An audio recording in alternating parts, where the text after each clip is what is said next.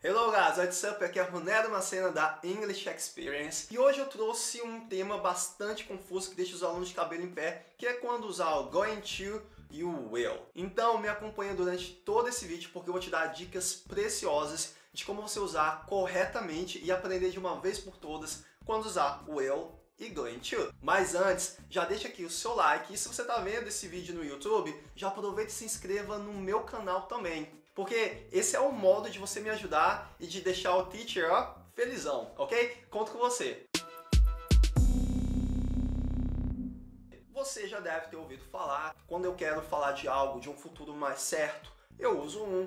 Quando o futuro é menos certo, ele é mais incerto, eu uso outro. Isso é bem simples e qualquer livro de gramática realmente te ensina isso. Então você usa o will quando a coisa ela é mais incerta que vai acontecer e o going to você tem mais certeza, é uma probabilidade maior de que aquilo vai acontecer. Mas a informação preciosa que eu quero te dar é em relação principalmente ao will. Já que o will ele passa essa ideia de uma incerteza, eu preciso usar, quando eu estou é, falando com essa estrutura, eu preciso usar alguns elementos que também passam essa ideia de incerteza. Por exemplo, eu posso usar estruturas como I guess, maybe, probably, I think. Todas essas expressões passam uma ideia de incerteza, então é mais indicado eu usar essas expressões quando eu for falar com will. Então, por exemplo, I guess I will travel next holiday. Segundo exemplo, I guess she will live in London next year. Ok, então essas duas frases têm é, esse exemplo clássico, usando o will, mas eu também estou usando essas partículas, esses elementos que também remete a uma ideia de uma probabilidade que não é tão certeza que isso vai acontecer. Agora exemplos com going to. I'm going to Rio de Janeiro next weekend.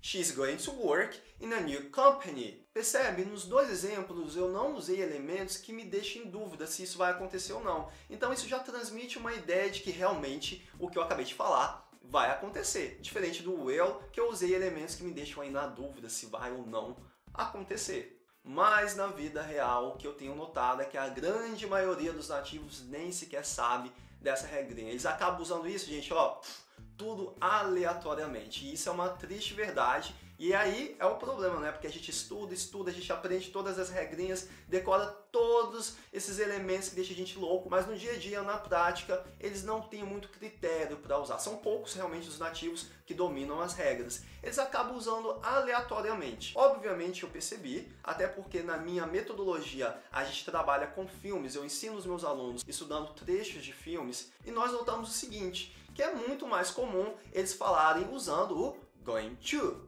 é muito mais comum usar o going to. Então eles acabam realmente usando muito mais o going to do que o will. E se você for parar para pensar, a gente também faz isso em português. Então, por exemplo, eu poderia falar eu vou comprar um pão ou eu comprarei um pão. As duas frases estão no futuro, mas qual que transmite uma ideia de certeza e de incerteza? Não sei, a gente precisa analisar o contexto. É o contexto que vai realmente transmitir mais uma segurança se isso vai acontecer ou se isso é só uma possibilidade. E a gente faz isso em português e não é diferente. O nativo que fala inglês também faz isso. Acaba que a gente fala e a gente não sabe a regrinha, como usar, quando usar um ou outro. E na verdade, a dica que eu te dou é, na hora que você estiver falando, não pensa nas regrinhas, simplesmente fala and just be happy. Essa é a parte mais importante. E naturalmente, à medida que você começa a falar, que você começa a se comunicar, você vai aprendendo isso, vai ficando natural para você. So, that's it, guys. Eu espero que você tenha gostado do vídeo. Se você gostou, curte, comenta, compartilha. Coloca aqui nos comentários também é qual a dúvida que você tem ou alguma sugestão de vídeo que você gostaria que eu gravasse, que quem sabe no meu próximo vídeo eu possa estar atendendo uma sugestão sua. Alright? So see you soon, bye bye.